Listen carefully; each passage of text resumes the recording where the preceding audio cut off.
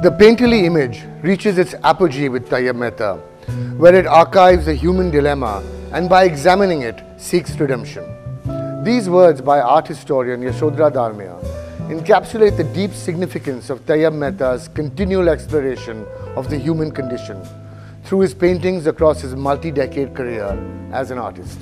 As a highly sensitive person, Tyeb was profoundly affected by the sectarian violence he witnessed during the partition of India in 1947. Tyeb gave expression to this violence that engulfed his surroundings as well as his own inner anguish through a concise painterly vocabulary of which the human figure remained a central element.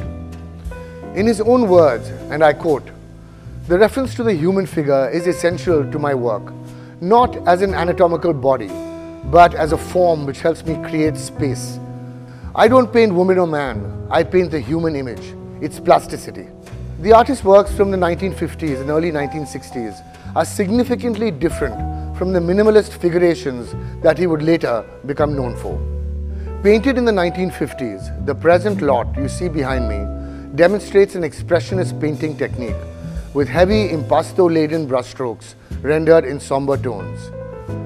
This was a style that characterized the early phase of Tyeb's distinguished career up until the mid-1960s. The subjects of these works were often individuals who appeared to be weighed down by fate. As you can see here, the figure is depicted with a dramatic heaviness of form. Though some of his figures take on an androgynous appearance, the female form recurs in Tyeb's work.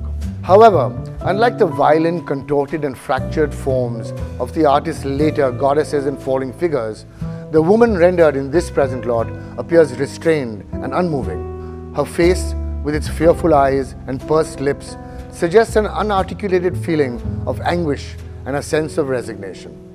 By placing the figure front and center of the canvas and using only subtle variations in hue and tone, Tyeb blurs the boundaries between object and context. The canvas is heavily saturated with color, the thickly layered paint instilling its surface with a heavy patina of disquiet. There's a tension between the figure and the space surrounding it. But despite the underlying despair and torment seen in his works, Tyeb's figures are equally notable for their embodiment of a certain dignity. As noted theatre director and curator Ibrahim Alkazi has remarked, Tyeb's subject does not become groveling and grotesque. He is patient and enduring. He suffers.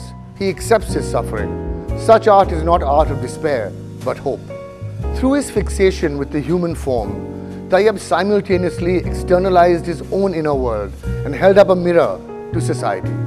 The present lot is remarkable as a testament to Tyeb Mehta's precise orchestration of color, form and texture, even early on in his work.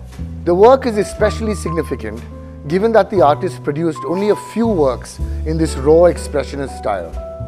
It is thus an important precursor to the seminal figurative works that he perfected in later years and exemplifies his belief in humanity's capacity to transcend circumstance and fate.